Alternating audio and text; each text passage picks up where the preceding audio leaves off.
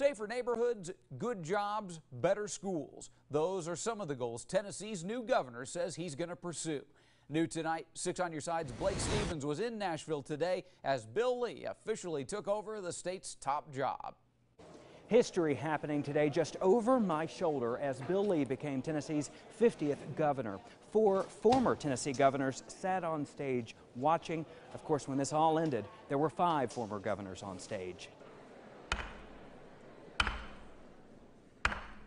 The longest serving lawmaker in Nashville, Lieutenant Governor Randy McNally, kicking off today's ceremony. Are you ready to take the oath of office?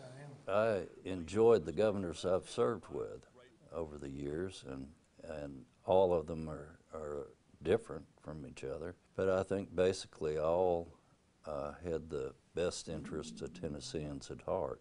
The duties of the office of governor McNally attending today's peaceful transition of power, a ceremony he sat in on dating back to the late 70s. So help me God. So help me God. Congratulations. Thank you.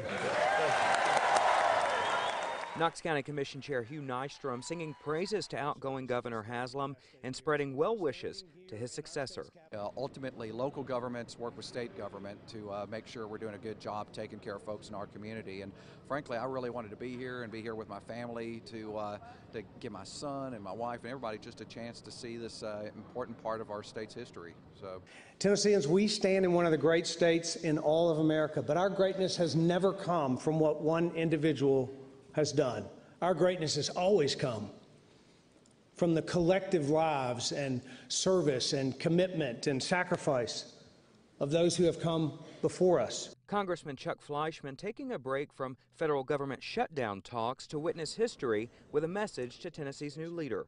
I wish you the best, and as your federal partner, I'm going to continue to work very hard on the House Appropriations Committee to make sure that we get the federal dollars into our great state, that we can get the job done. Tennessee's new governor offering a message of hope. I believe that we can do it. I believe that we can create safer neighborhoods good jobs, better schools all across our state. Former Governor Bill Haslam. So, Bill, Godspeed, my brother. Saying thank you.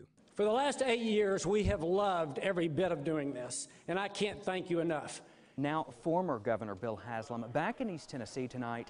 Haslam joking with the crowd that he would be driving back himself and driving for the first time since he was elected eight years ago. A big question remaining now that Senator Alexander announced he would not be running for re-election. What's next for the former governor? Of course, we'll keep an eye on that for you. In Nashville tonight, Blake Stevens, WATE 6 on your side.